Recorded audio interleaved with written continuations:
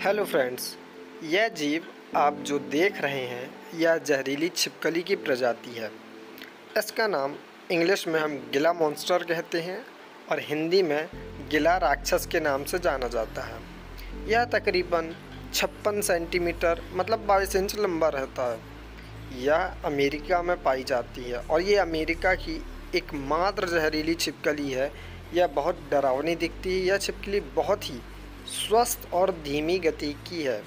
यह गर्म मौसम के दौरान गिला राक्षस रात में छोटे स्तनधारियों, पक्षियों और अंडों को खाता है। गिला राक्षस यह कोबरा की तरह ही दूर से जहर थूक सकती है। इसका जहर इतना जहरीला होता है कि अगर यह एक बार काट ले तो इंसान की मौत हो सकती है। फ्रेंड्स, आप सोच भी नहीं सकती ये कितनी जहरीला होता